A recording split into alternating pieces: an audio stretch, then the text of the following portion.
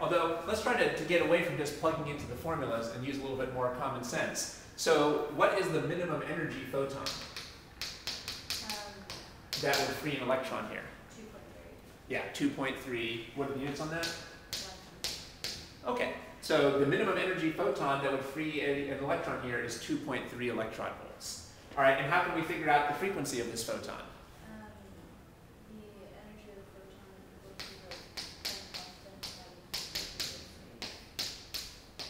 we Okay, good. So if you plug in. Right. Solve for the frequency. Good. Now there's a complication. Um, remember, we looked up Planck's constant, but remember, what were the units for Planck constant? Joules times seconds.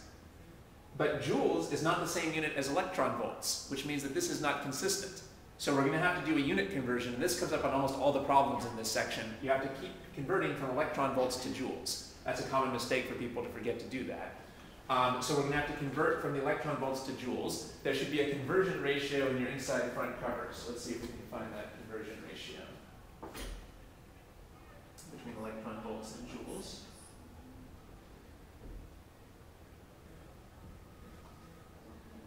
Right, you can see it's under energy. Um, one electron volt is 1.6 times 10 to the negative 19 joules. One electron volt is 1.6. By the way, it's no coincidence because, um, well, it's easy to remember if you remember this is the charge on an electron or a proton. It's not hard to explain why this is the same number as the charge on an electron and a proton, but uh, maybe we won't spend time on that today. But anyway, the number here is the same as the charge on an electron or a proton. So how would we use that to do the conversion? So we would, uh, if we have, because we would need to convert this to joules. which is Right. So if we have, uh, one electron volt, which is one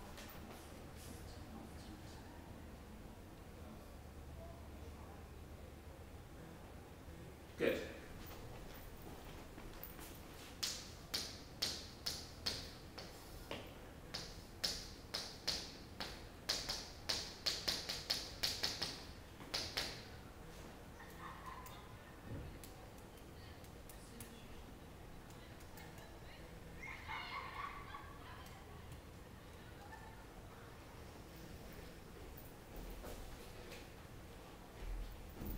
So I got, uh, joules to be equal to three point six eight times ten to the negative nineteen.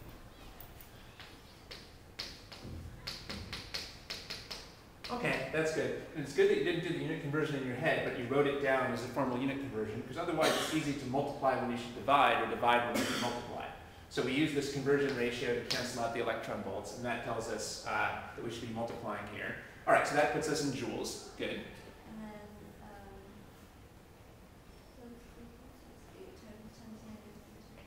And then you divide that by Planck constant, which is six point six three times ten to the negative thirty-four.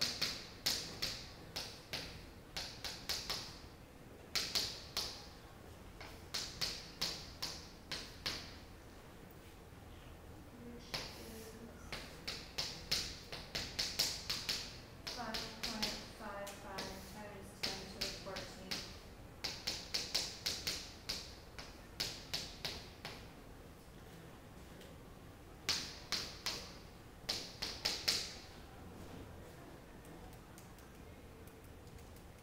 Seconds, Yeah, what did you get for that again? uh, five point five five ten to the fourteen.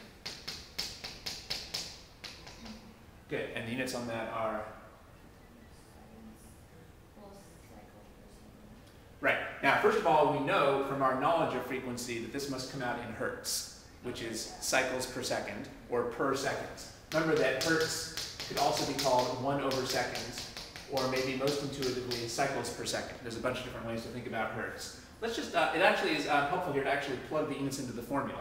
So I've actually plugged the units into the formula here. The energy is in joules. Remember that Planck's constant is joules times seconds.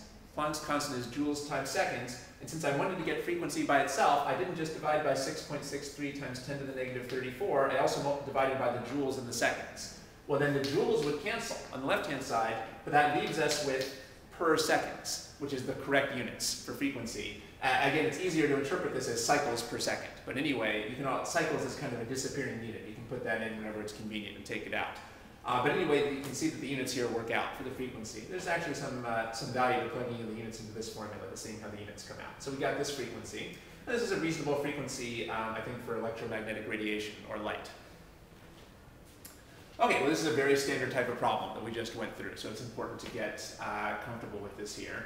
So a couple things to point out. Very important to highlight in your notes, you can't use this formula unless you're in joules because H is in joules.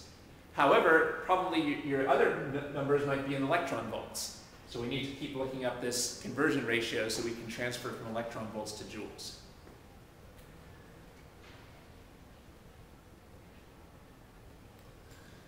There are other ways to get around this. You could use a version of Planck's constant that's in electron volts, but that's not what your textbook does. I don't think that's what the homework does. So in this course, we'll just stick with the Planck's constant that's in joules, and then you just always have to do this conversion. It gives you a little more insight into what you're doing. By the way, notice how much energy did this photon have?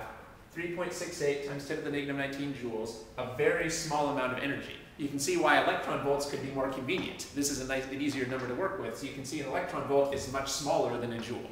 So it's much more appropriate for the subatomic level um, over here. And this gave us the frequency of the photons. Okay. Now, notice how your first instinct here was to try to use our formula about the maximum kinetic energy is the energy of the photon minus phi. Now you could use that, but I think it's really better to just think through the logic like we went through here. If you were going to use that formula though, just like you said, if we want the minimum energy, we would want a case where we were getting the electron out with zero energy. But then we just get what we have here, that you want to set the energy of the photon equal to the work function. I think it's really easier to work through the logic here.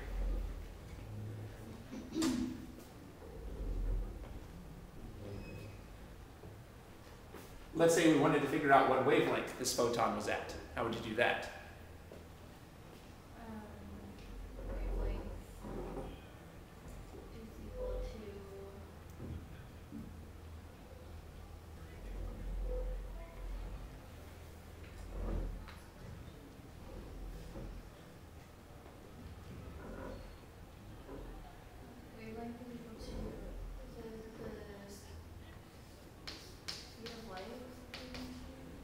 Yeah, that sounds good.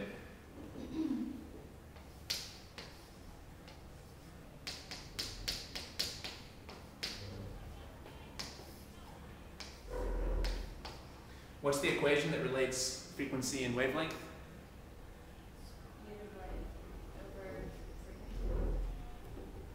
Equals wavelength? Good. Or maybe the most basic form of that is this equation. I'm going to use C here because we're talking about light and electromagnetic radiation, and we'll be dealing with vacuum or air, where the speed is C. All right, and you can clearly use this to solve for F or lambda. This is why we said earlier that F and lambda are inversely related. Um, what's the units for energy? Joules. Joules. Or, now, electron volts, although joules are the standard unit.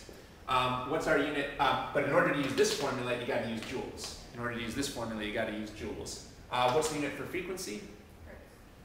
Right, which is also cycles per second or per seconds. And what's the unit for lambda?